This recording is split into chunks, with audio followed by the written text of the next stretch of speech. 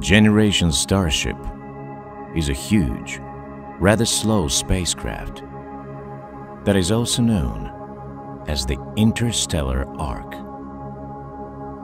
It is its own kind of alternative to spaceships that fly at much higher speeds and have traditional crews. But just how realistic is this? And will the time come when mankind will accomplish these kinds of voyages in real life? This is a really interesting question that people asked back in the old days. Taking all these factors into account, according to researchers' most conservative and modest estimates, the group of colonizers should initially consist of 98 people. Besides, each of the 49 married couples should to begin with be selected by DNA analysis in order to ensure maximum genetic diversity. If a smaller crew were to set out on the voyage, the success of the mission would already be in question. For example, the chances of survival for 25 married couples is already estimated at about 50%. And if there are only 32 or even fewer settlers, the odds leave them no chance at all, 0%. Perhaps the descendants of the original crew will reach Proxima Centauri, but by that time, they will no longer be able to establish a sustainable colony. But this poses the question but what if we use cryonics or suspended animation? This is a type of hibernation that can be beneficial in helping the travelers to conserve emotional resources and avoid burnout.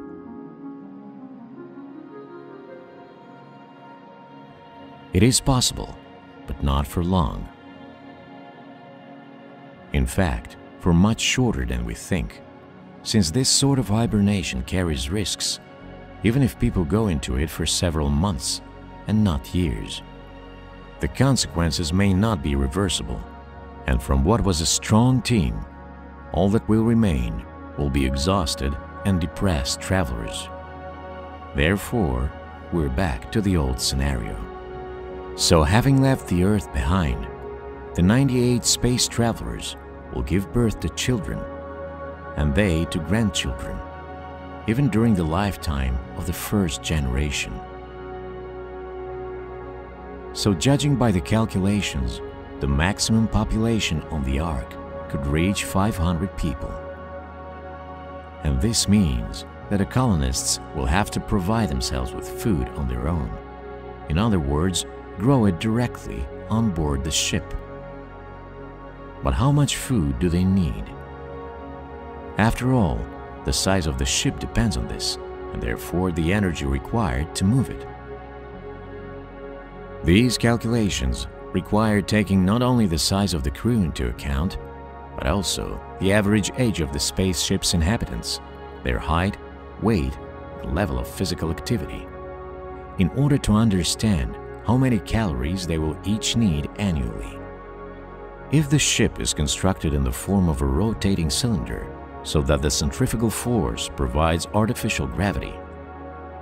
Then the height of the agricultural compartment should be 320 meters with a radius of 224 meters. Add to this the crew's quarters, the common areas such as a dining room, a gym or a medical unit, the flight control rooms, the power generators and the engines, and the size of the spaceship will approximately double in size. The Space Ark will be approximately 650 meters long and 450 meters in diameter. As you can see, we had to disregard some things and violate a lot of others. Interstellar journeys are still a fantasy for us. But what kind of fantasy doesn't become reality after a while?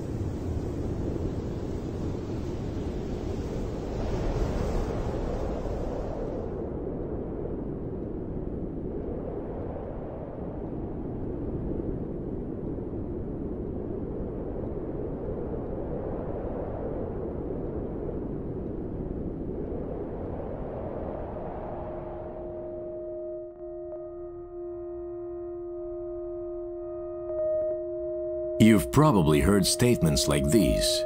The pilot is experiencing a force of 7 Gs or gravitational forces. Or the acceleration force was 9 Gs, or perhaps even more. Indeed, you yourself regularly experience stressful forces in everyday life. Well, that is not only emotional, but also physical. How do G forces affect a person on Earth? How are they felt in space? And even at faster than light speeds? Let's try to answer these questions. To begin with, as always, you should understand what g-forces are and how they occur. From the definition, it follows that a g-force is the ratio of the absolute value of linear acceleration caused by non-gravitational forces to the standard acceleration of free fall at the surface of the Earth. Being the ratio of two accelerations, g-force is a dimensionless value, but is often stated in units of the standard acceleration of free fall, g, or gravity, which is 9.8 tenth of a meter per second squared. This represents how many times greater the force of inertia is in relation to the usual force of gravity acting upon a body under conditions of the Earth at sea level.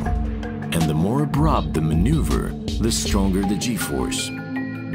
The fact is, the human body is able to tolerate accelerations of higher than 9 g's for brief durations, but very few are capable of enduring them for more protracted periods of time.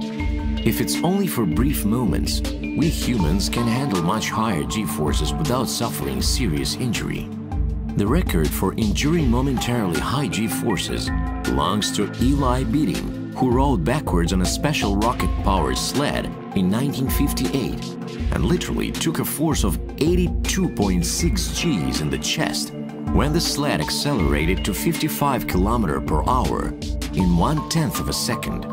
Beeding lost consciousness, but got away with only small bruises on his back, demonstrating the incredible capabilities of the body.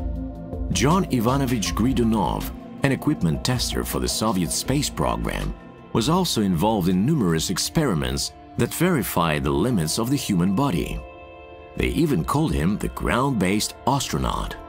While testing a pressure suit, he underwent a number of experiments in a high-altitude pressure chamber, including uncontrolled decompression. During a simulated emergency landing, he experienced an impact force of 50 Gs as well as having withstood a force of 19 Gs in the region of thoracic spine on a centrifuge. Even the Orion spacecraft won't be able to deliver our full velocity potential.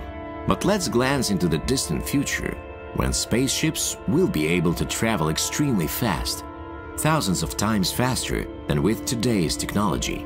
Let's remember that light travels at a speed of 300,000 kilometers per second, Consequently, if we assume that we will be able to overcome known technological limitations and build hyperspeed spacecraft, our delicate bodies made mostly of water will have to contend with the new risks that will result from such high-speed travel. If humans do acquire the ability to travel faster than light, the potential dangers that may be encountered are the discovery of a mind-boggling paradigm or the detection of wormholes in the current physical state. Even if we begin speeding up to 40,000 kilometers per hour, the acceleration should be gradual. After all, it is specifically acceleration that affects the magnitude of the g-force. Hypothetically, you can speed a ship with a person aboard up to the speed of light. Let's just try to ignore the laws of physics here and make believe. But the question's not with the terminal velocity or final speed, but in how quickly it gathers that speed. If in a year our passenger remains safe at a speed of 1 km per second, even with a moderate increase in acceleration, that person won't have enough of his average life expectancy left to do it. If by chance he did achieve such a speed, contrary to all the laws of physics, he should feel no worse than he would being in an airplane. Having said that, if the acceleration from zero to speed of light took just a second, well, that'd be better not to imagine. Rapid acceleration and deceleration can be fatal for a human.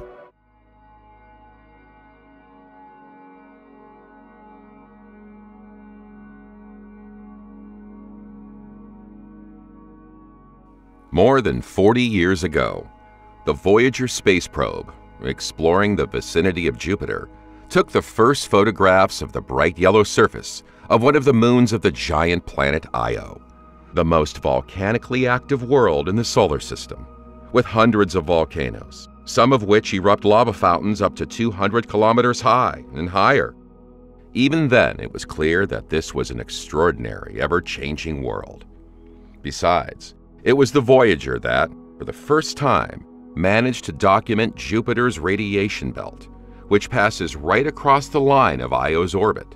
It is entirely because of such unfortunate positioning that the level of radiation from the giant planet on its nearest satellite is 1,000 times stronger than the level of radiation on the Earth's surface, which makes finding a person on Io simply impossible. Or possible, but not for long, and ill. Thanks to the data collected by spacecraft such as Voyager 1 and 2, Galileo and New Horizons, we have learned a great deal. But at this very moment, the Juno spacecraft is there, and its data has tremendously expanded our understanding of this hellish place. In fact, Io is slightly larger than our Earth's moon, a mere 5%, and orbits at a distance of just over 400,000 kilometers from Jupiter.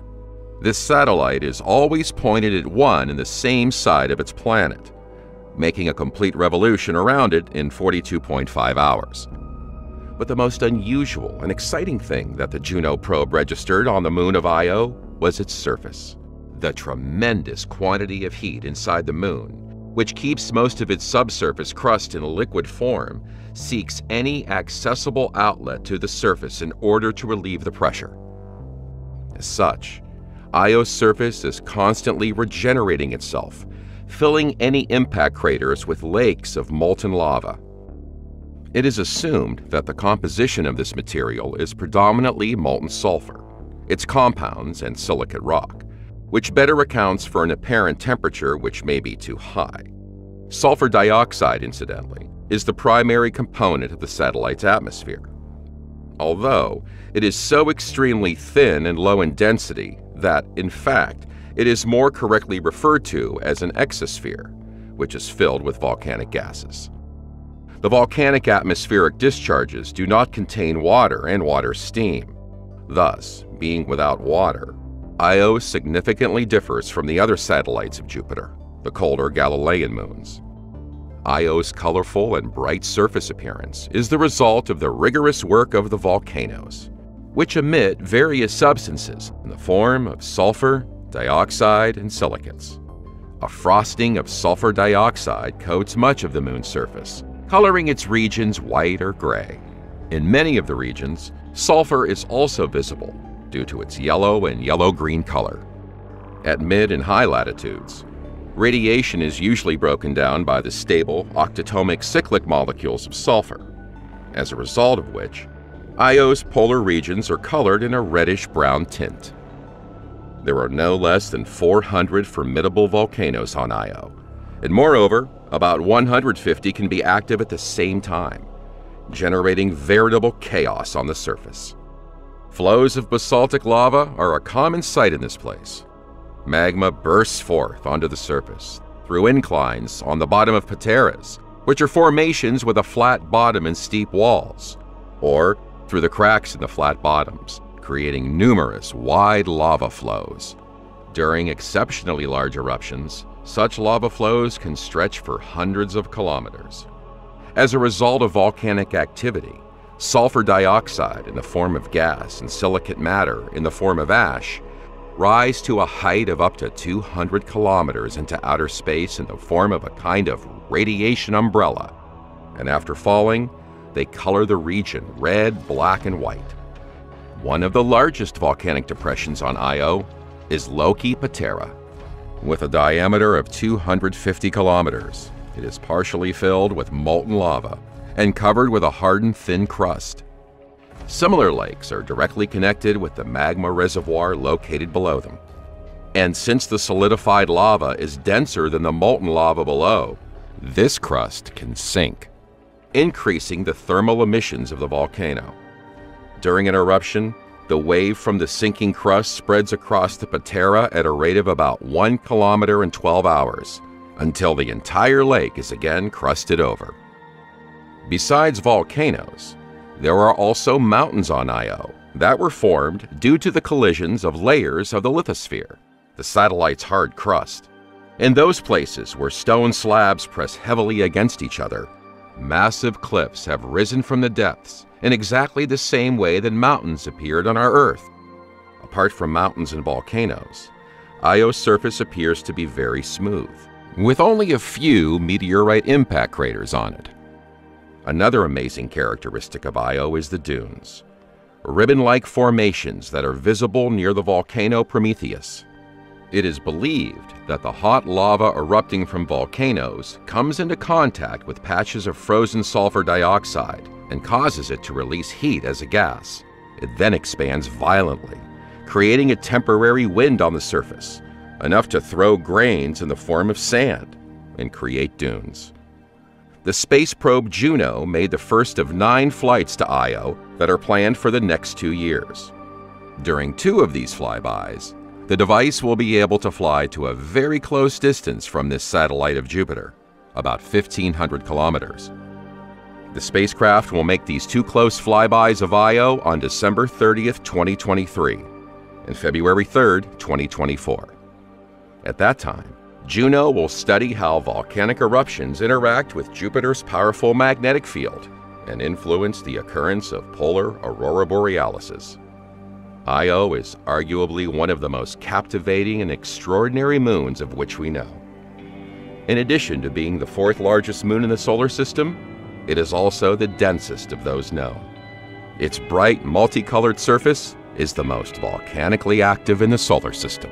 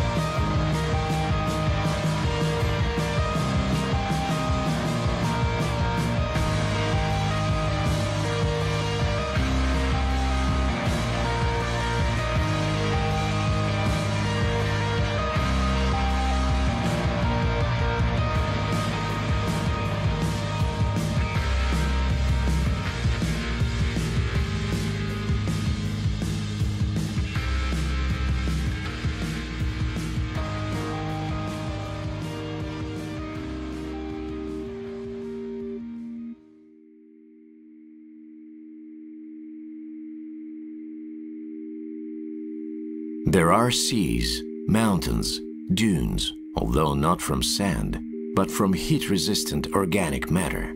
And when summer comes to the North Pole, it even rains methane. It's an amazing world.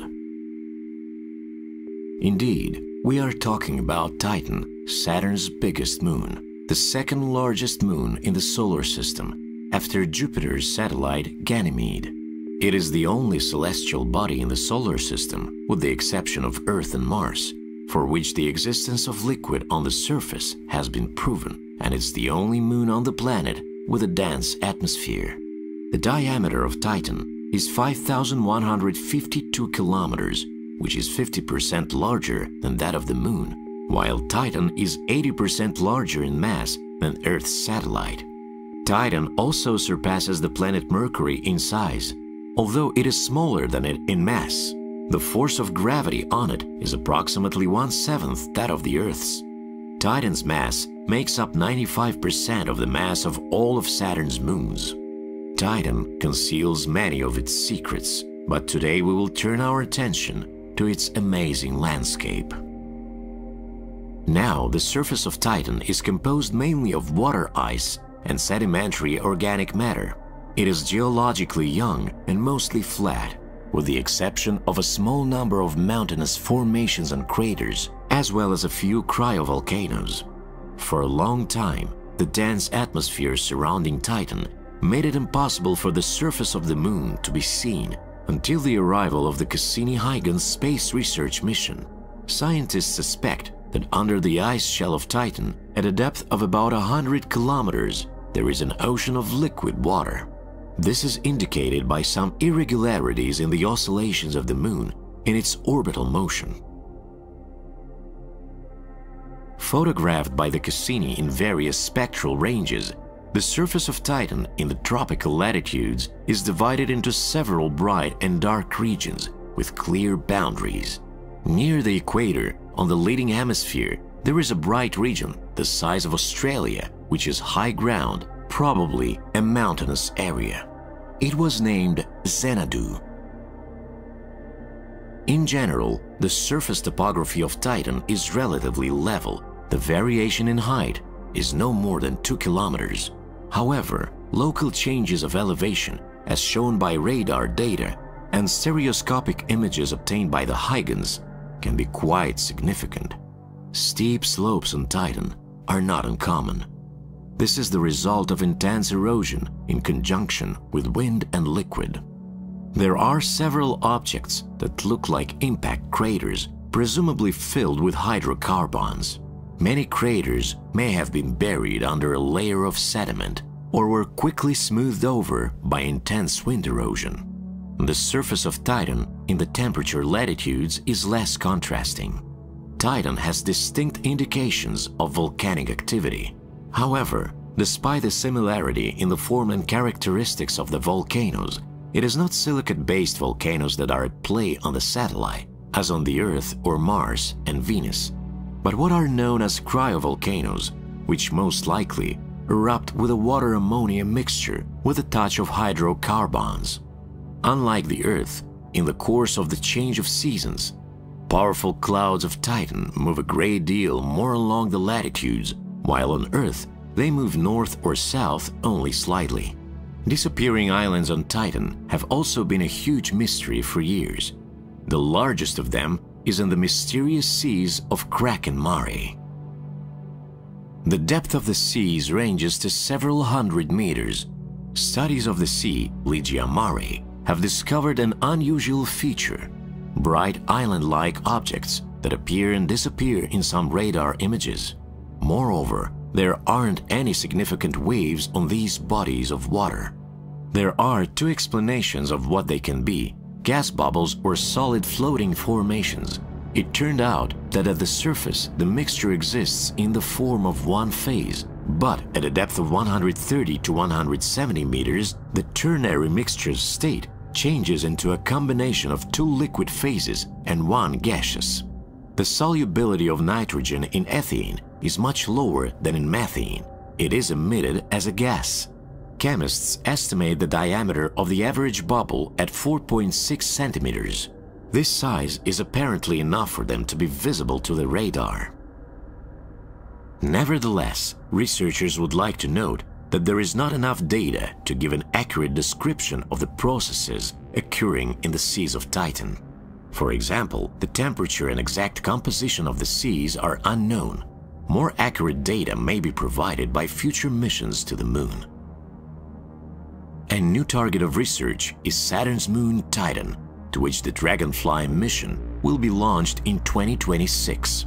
It's expected that in 2034 the 8-rotor drone will land on Titan, which will receive electrical power by means of a thermoelectric generator. Becoming an eyewitness to these new discoveries will truly be an exciting and amazing time.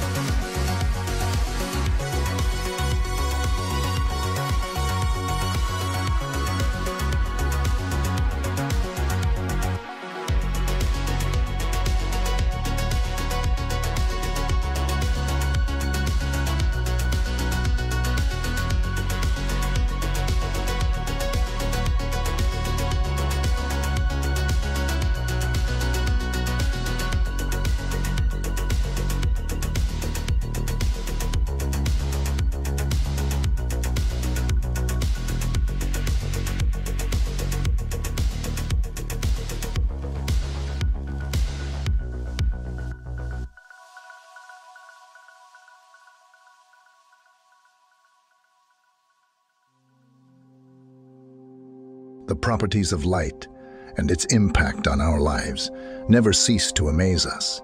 Light, or electromagnetic wave, plays a central role in many aspects of our lives and is a key concept in physics.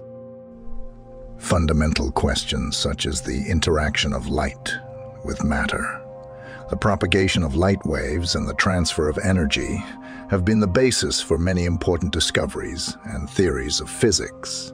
But if light is a type of electromagnetic radiation that is usually associated with the visible part of the spectrum, what can be said about a concept like darkness? More precisely, the concept is there, but is the phenomenon itself there? Even if you turn off the sun, the Earth will not plunge into total darkness. Light from stars, nebulae, and even the Big Bang itself will illuminate your sky in this case. The planet itself and everything on it, including our bodies, also emit light, and it will be visible in the infrared. Even if you somehow found a way to turn off the sun, even then it will emit a certain level of light, almost forever. There's enough for our age, and for many centuries to come. But of course, it will be eerie to realize the eternal cold so as long as we can see, we'll see. No optical sensor can detect total darkness or take black holes, the darkest of the supposed objects. Even they are capable of emitting some percentage of light, according to some theories. In physics, unlike in the realm of interpersonal relationships, light always defeats darkness. Electromagnetic waves are a collection of alternating electric and magnetic fields that propagate through space at a specific frequency and wavelength. The spectrum of electromagnetic radiation includes, in addition to visible light, radio waves, microwaves, infrared ultraviolet, X-rays, and gamma rays. Yes, light plays an important role in physics because of its ability to interact with matter and change its properties when light particles, photons, are absorbed, atoms and molecules move to higher energy levels, which can cause chemical reactions, thermal radiation, changes in the state of matter, and even nuclear reactions. Where does light itself come from? Let's take the example of the emission of light by the sun. In our star, numerous chemical and thermonuclear reactions take place which are accompanied by the emission of quanta of light. When two hydrogen atoms collide, they combine to form one atom, called deuterium, which is lighter than the atoms from which it was formed, and the extra energy is released as a photon. Deuterium, in turn, joins one more hydrogen atom, and helium. Three is formed, and one more photon is released. When two helium, three atoms collide. Helium, three atoms collide helium. Four, two hydrogen atoms, and one more photon are formed. So, the sun from four hydrogen atoms produces one helium atom and three photons, and that's just from one chain of reactions. Each of these photons carries a large amount of energy, and for tens of thousands and millions of years, wanders inside the sun, colliding with atoms, heating up the sun, and turning into dozens of photons with less energy and frequency, visible to the eye. Sooner or later, these photons fly out of the sun and go on a long and sad journey through space, and some of them come to Earth, giving us light and warmth. So what are the physical characteristics of light? First, it is speed, one of the most important fundamental constants in physics. In a vacuum, it is equal to almost 300,000 kilometers per second. What about the speed of darkness? How fast will the eerie darkness descend upon us? The simplest answer is that the speed of darkness is the same as the speed of light. Turn off the sun, and our sky will be dark eight minutes from now. What we used to call the speed of light is the speed of propagation, and it is not always the deciding factor. The shadow that falls across the landscape is cast by objects, and the feature of those objects, and the distance from them, will determine how fast it falls. For example, a rotating lighthouse searchlight illuminates the surroundings at regular intervals. However, the relative rate of dimming of the surroundings increases with increasing distance from the lighthouse itself. If you move far enough away from the lighthouse, the shadow will catch up with you faster than the speed of light propagation. Isn't that right? The same thing happens with neutron stars in space, for example. In other words, in this case, the speed of light will only mean a delay. Even if the beacon is pointed directly at you, you will see the light. Not immediately, but with some delay. However, this will have no effect on the course of events that you will see when you are in your position. In any case, you have been detected and have nowhere to run to. Moreover, light has an inherent wavelength. The spectrum of visible light is just the part of the electromagnetic spectrum that the human eye can see. The cone-shaped cells in our eyes act as receivers tuned to wavelengths in this narrow band of the spectrum. Other parts of the spectrum have wavelengths that are too large or too small and energetic for us to see. When objects get hotter, they emit energy, dominated by shorter wavelengths, changing color before our eyes. The flame of a blowtorch changes color from reddish to bluish as it is set to burn hotter. In the same way, the color of stars tells us their temperature. Our sun emits more yellow light than any other because its surface temperature is 5,500 Dec. If the sun's surface were colder, say 3,000 Dix, it would look reddish, like the star Betelgeuse. If the sun were hotter, around 12,000 Dec, it would look blue, like the star Rigel. Reflection, refraction, and absorption of light are the basic processes that occur when light interacts with matter. Let's break each of them down a bit.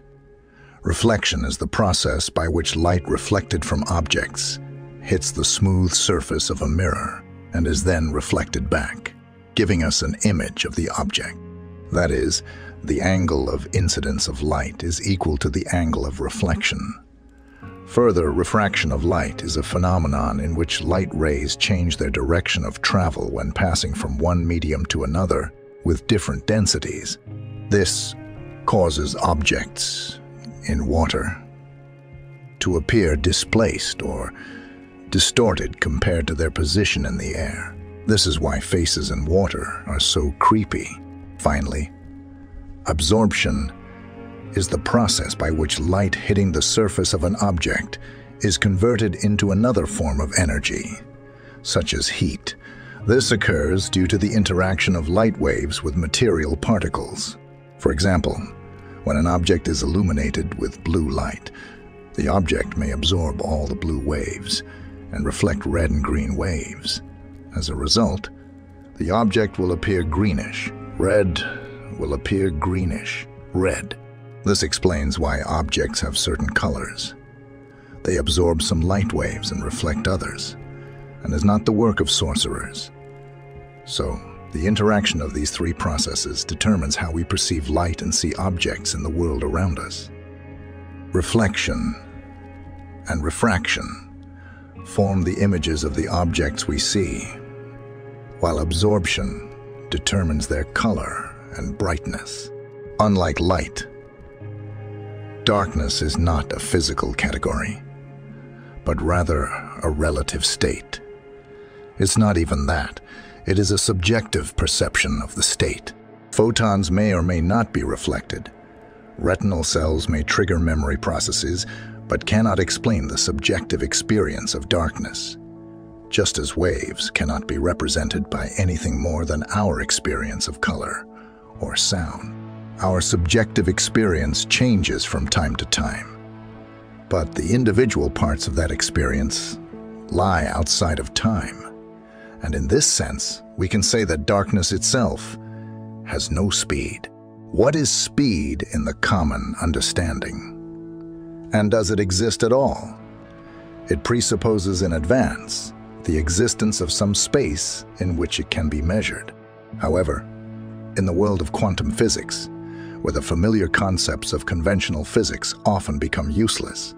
It is believed that space itself is one of the derivatives of a more fundamental level of reality, where there are no such concepts as position, distance, or speed at all.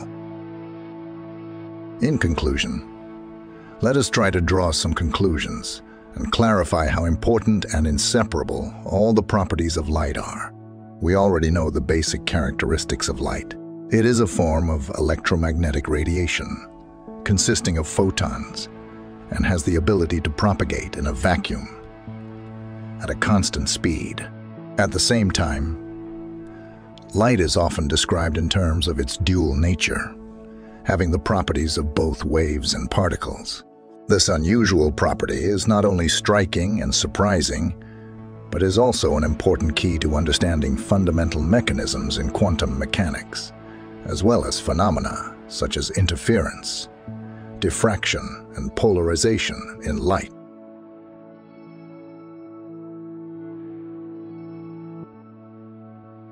Light also plays an invaluable role, not only on our planet, but in the universe as a whole. Its ability to deliver information from the farthest reaches of space, to create conditions for life on Earth, and to serve as a tool for studying and understanding the world around us, makes light a true magical phenomenon. We owe it to light for the ability to see and perceive our surroundings. It allows us to admire the beauties of nature, distinguish colors and shapes, and facilitates our social interaction and communication. Thus, whatever light is by nature, it is one of the most amazing phenomena ever discovered by mankind. But the question of how light originally came to be remains open.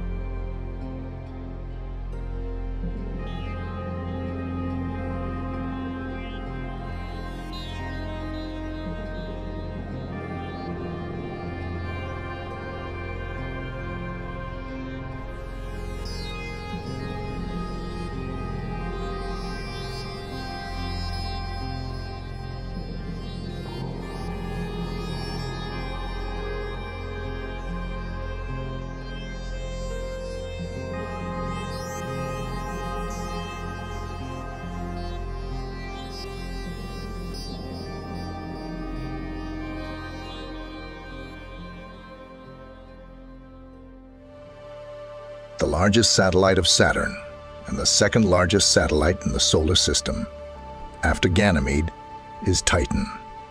Over the decades, we've been learning more and more about this satellite, and they are constantly replenished. So what do we know about Titan? About this world, more than a billion kilometers away from us? Is life in one form or another? Really possible there? Let's try to find answers to these and many other questions. So, Titan is a cold, icy world with a surface temperature of minus 170 degrees Celsius, hidden by an orange, hazy atmosphere. Titan has a radius of about 2,500 kilometers and is more than 1 million kilometers away from Saturn.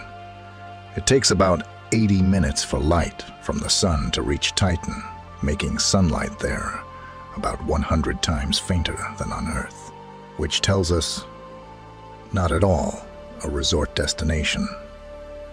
In 15 days and 22 hours, Titan makes a complete revolution around Saturn and is also in synchronous rotation with its planet, meaning it always faces the same side of the planet. Since Titan rotates roughly along Saturn's equatorial plane, the seasons there last more than seven Earth years, and a year equals 29 Earth years.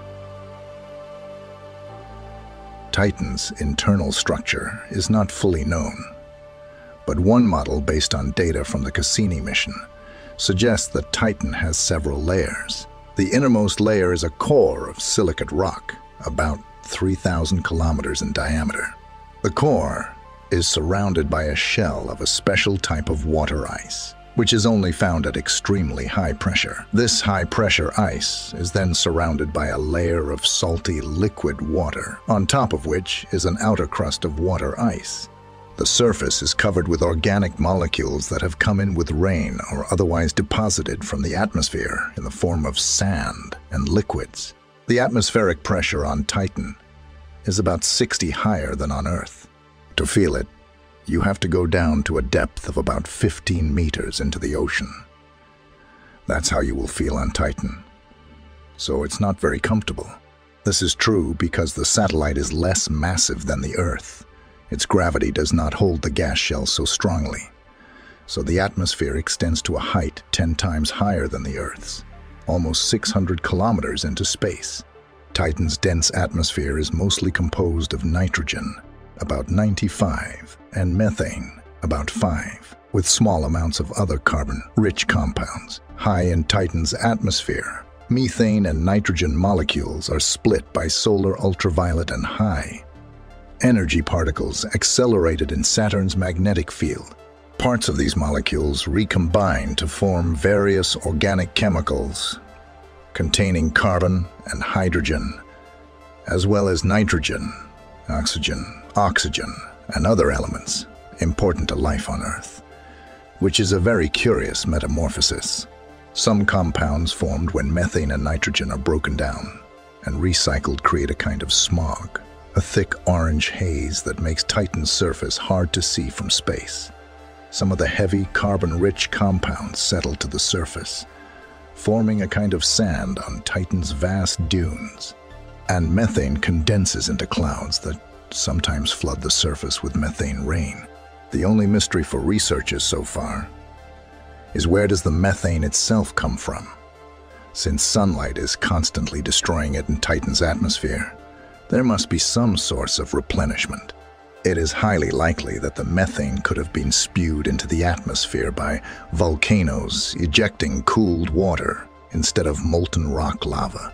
During the Cassini probe mission near Titan, it was possible to obtain images that recorded emissions of a cold substance, presumably liquid methane, into the satellite's atmosphere. At the same time was discovered Mount Doom, the highest mountain on the satellite, a height of 1,600 meters, which in all likelihood has a cryovolcanic origin. Two light formations of temporary nature were also discovered, which are the result of the activation of cryovolcanoes that spewed water, ammonia mixture with hydrocarbon admixture. The thickness of ice flows on Titan reaches 200 meters which is possible due to the high viscosity of cryomagma, comparable to the viscosity of basaltic lava on Earth. But the amazing thing is that in just a few years, huge areas of the landscape shifted during this time by about 30 kilometers, since Titan is always turned to Saturn on one side.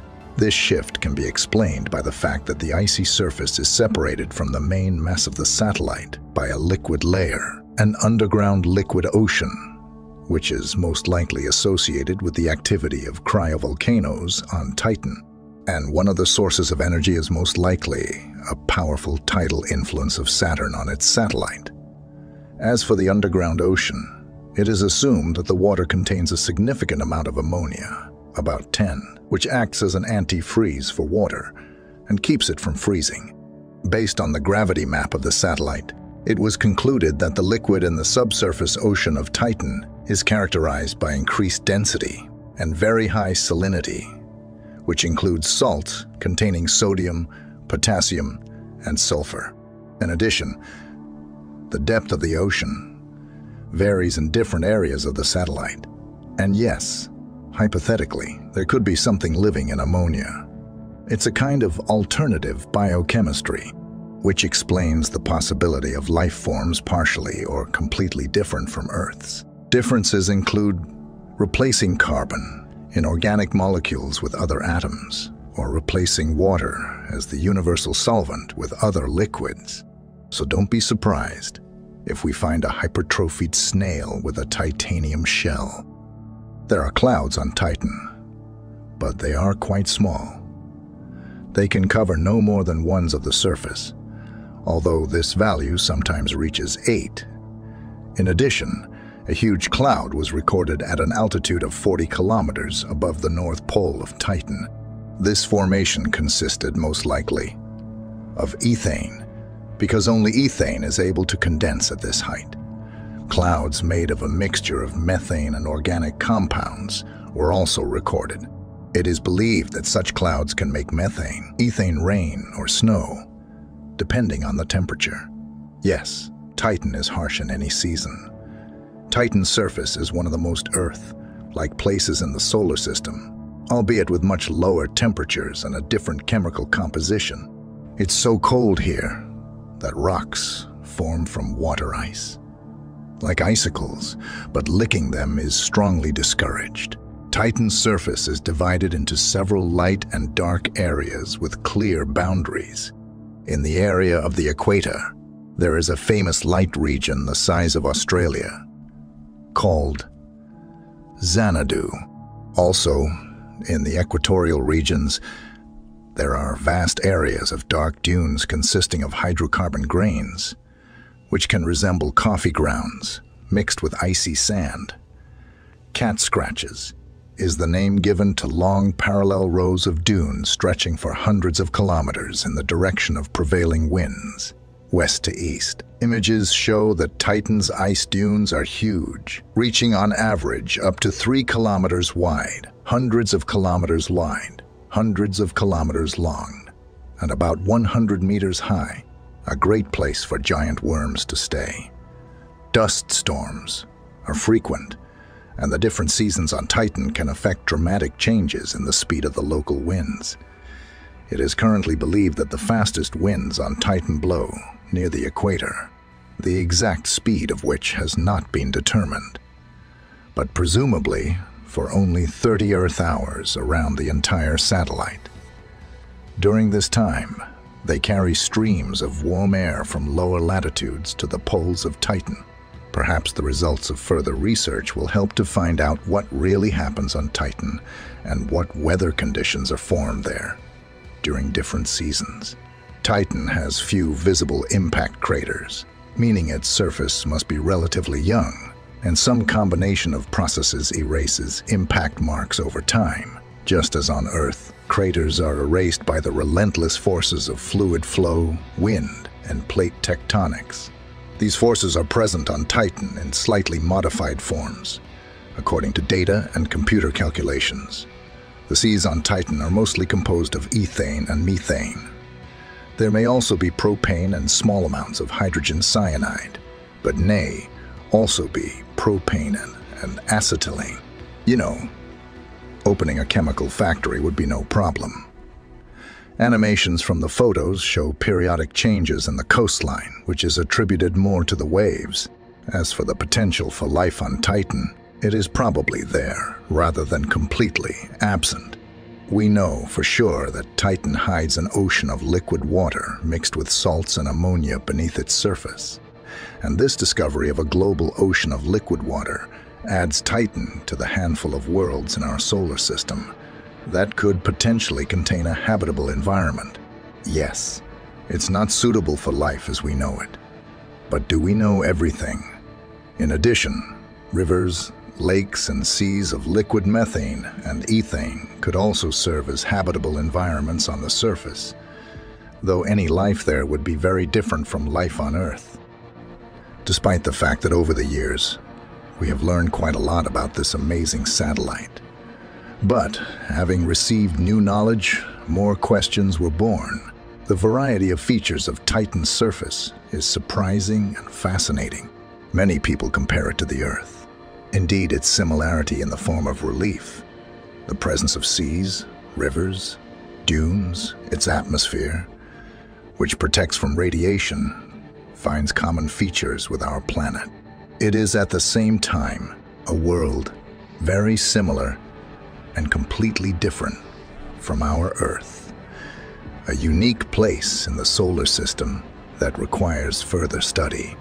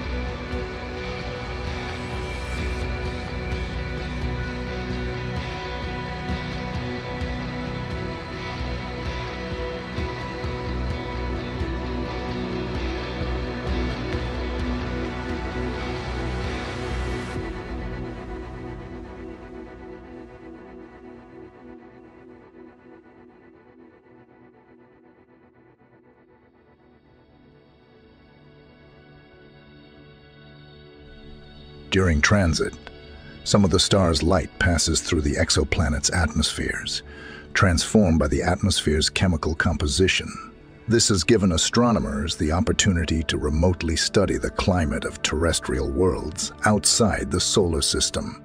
And this is important because TRAPPIST, one worlds are the most optimal worlds available to us today. They provide the first opportunities for humanity to detect signs of biology beyond the solar system. During transit, some of the star's light passes through the exoplanet's atmospheres, transformed by the atmosphere's chemical composition.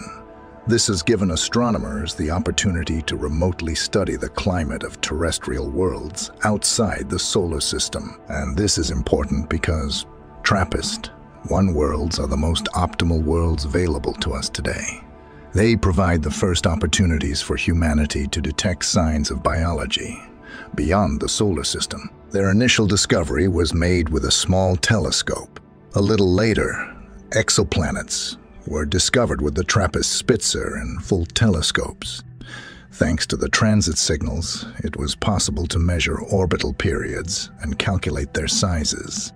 The exact transit times of exoplanets also makes it possible to measure their masses, which made it possible to know the density and therefore the properties of the bulk. Astronomers have found that exoplanets conform to a rocky composition and that their sizes and masses are comparable to those of Earth and Venus.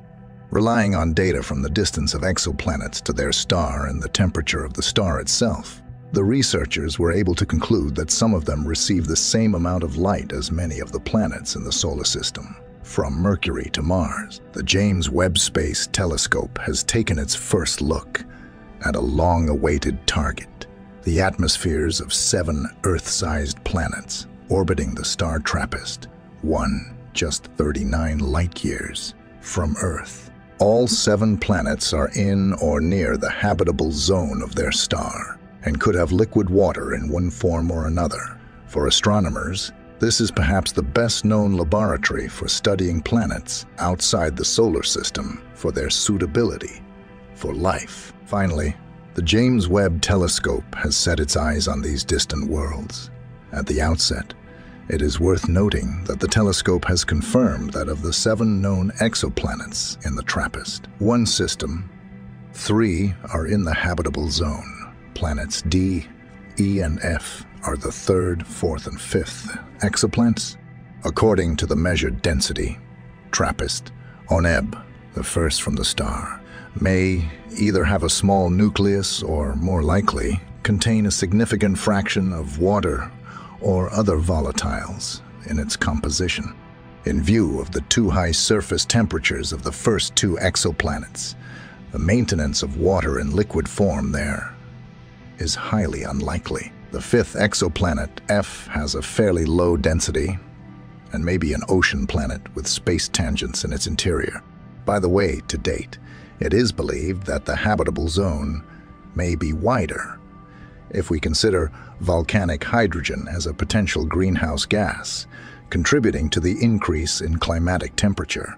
The telescope also saw some similarities with Centauri Proxima, namely that the X-ray emission of TRAPPIST, one system approximately corresponds to the X-ray emission of Proxima Centauri, and the ultraviolet radiation produced by hydrogen atoms from the chromospheric layer of the star is already six times less than on Centauri. For this reason, the two closest exoplanets to the star, TRAPPIST, ONEB, and TRAPPIST, ONEC, could have lost their atmospheres and hydrospheres and hydrospheres in a time span of two to three billion years if their initial masses were similar to Earth's.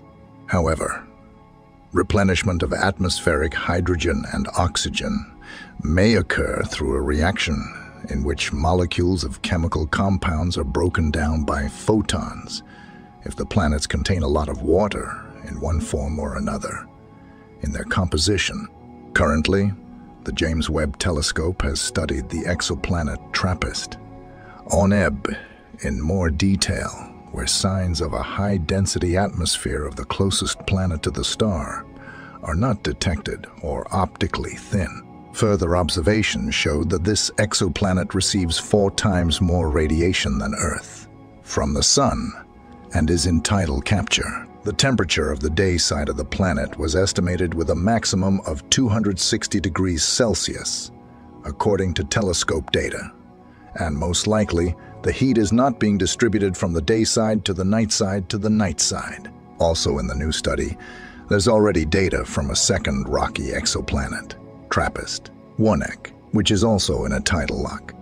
The planet is interesting because it could be, in fact, a twin of Venus, since it's about the same size and receives the same amount of radiation from its star, but still not as harsh because it has a daytime temperature of about 106 degrees Celsius versus Venus's 420 degrees.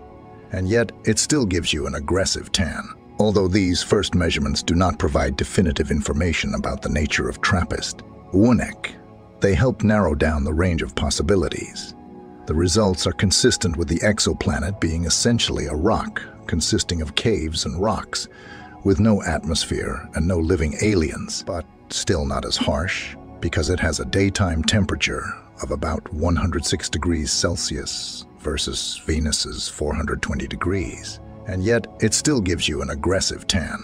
Although these first measurements do not provide definitive information about the nature of TRAPPIST, Wunnec they help narrow down the range of possibilities.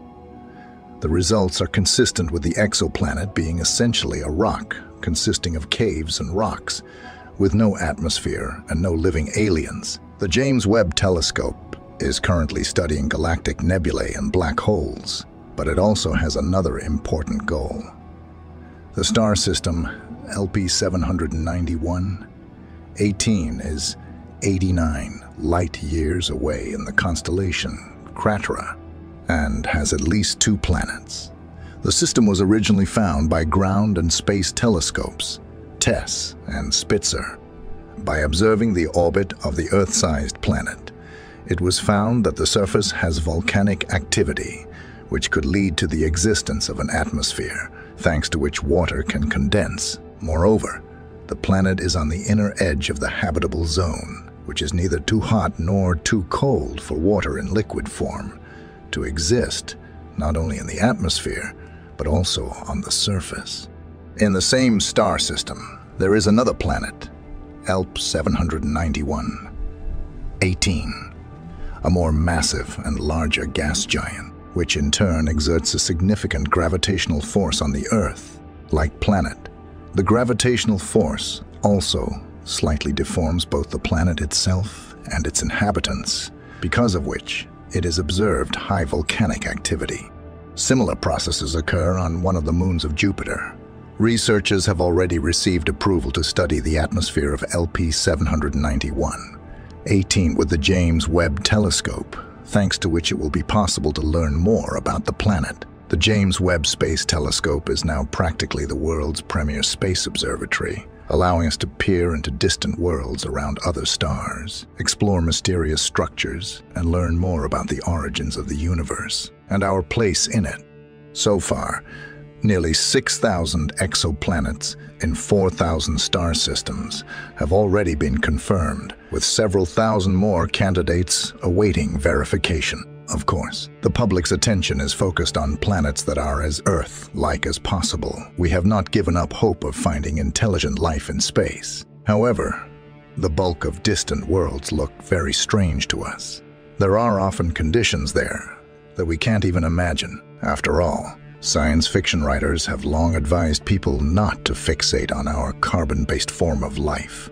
There may be much in the universe beyond our understanding, but science exists to push those boundaries.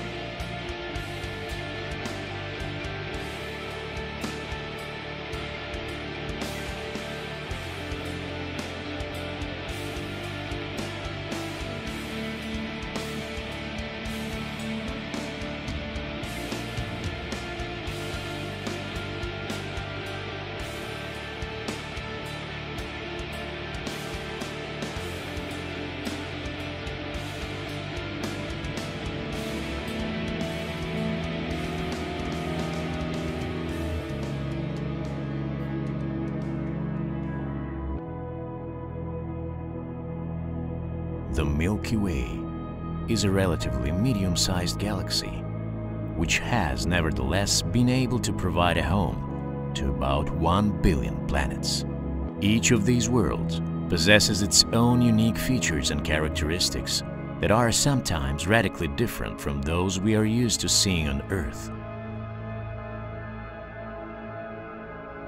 One of these unusual worlds could be a rocky planet that orbits four stars at once in the same system. Between 1.5 and 2 astronomical units from the center of the system, meet HD 98800. It is a multiple system of four stars located in the constellation Crater, approximately 150 light-years from us. What can such a world signify? What kind of phenomena can occur on this planet? A bit later, we will definitely be imaginatively transported to this extraordinary world. Yes, in space there are more complex star systems with two, or even more rarely, three stars, which spin around each other in complex orbits. However, this new discovery is proof that this is not the limit. A group of astronomers were able to detect a system in the universe with four stars. Amazingly, all this time, it was hiding a mere 146 light-years from us. Instances of systems that consist of four stars are incredibly rare. However, the uniqueness of this object is further enhanced by the fact that HD 98800b has a protoplanetary disk. Using the Spitzer Space Telescope, astronomers discovered that it is composed of two belts.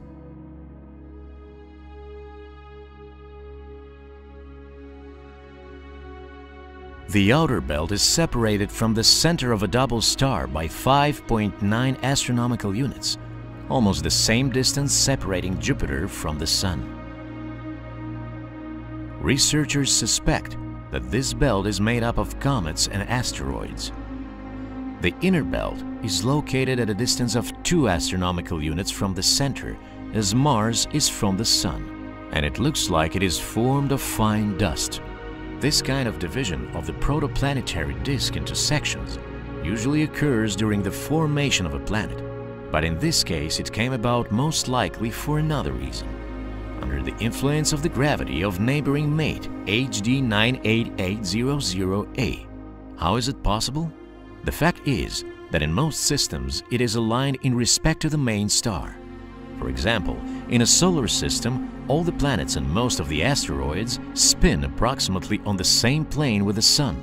But this does not apply to HD 98800. It has a disk of gas and dust that is positioned at a right angle to the central stars. This is the first system that is known to us with a perpendicular disk and such an anomaly promises many more astonishing discoveries. Presumably, if astronomers manage to find other similar older systems, it will be possible to observe planets spinning in strange orbits at all sorts of angles. In turn, this might lead to the formation of new types of planets still unknown to science. However, Another scenario is also possible. In such conditions, planets simply cannot form from a protoplanetary disk. The search remains to be continued. In space, there are still many curiosities unknown to mankind.